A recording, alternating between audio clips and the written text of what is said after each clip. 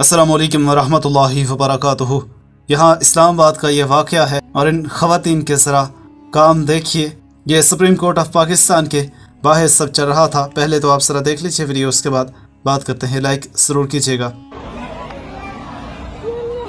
हमने बर्दाश्त बहुत तकलीफें बर्दाश्त की। लेकिन हमने से निजात में तो हम यही हमने अपने लीडर फॉलो किया और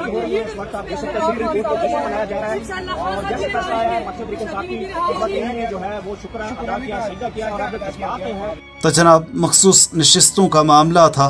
तहरीक इंसाफ को इस केस में जीत नसीब हुई, जिसके बाद तहरीक इंसाफ के लोग काफ़ी ज़्यादा पुरजोश दिखाई दिए। ऐसे में ख़वातीन जो तहरीक इंसाफ की वर्कर थी, वो कुछ इस जज्बाती हालत में देखी गई। अब ज़ाहिर सी बात है, कौम को ये बड़ा सरप्राइजिंग लगा कि कैसे इस बार उन्हें इंसाफ मिल गया। तो पूरी कौम ही बेकाबू दिखाई दी, जिसमें से एक क्लिप हमने आपके सामने रखा। आप आरा दीजिएगा, क्या आपको भी हैरानगी हुई है इस फैसले के हवाले से? ज़रूर कमेंट कीजिए। वीडियो आज की शेयर कीजिएगा। सब्सक्राइब भी कर लें। साथ में बेल आइकन भी प्रेस कर दीजिए।